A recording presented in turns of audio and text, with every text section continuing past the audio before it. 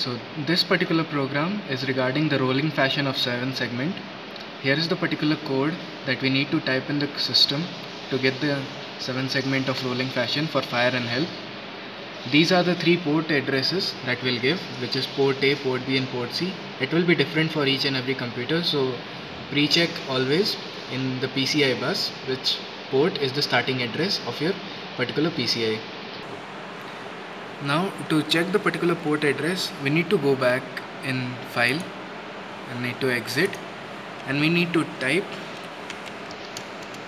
we need to type PCI and then tab.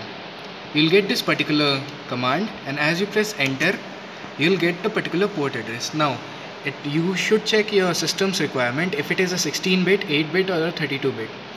As of now my system is 8 bit I have given the port address as D0C0 that will be in my particular program so I'll again open up my program which is roll.asm so here is the program again so this particular port address will be the particular port address that we saw over there plus 1 for each next port like D0C01H, D0C02H, D0C03H.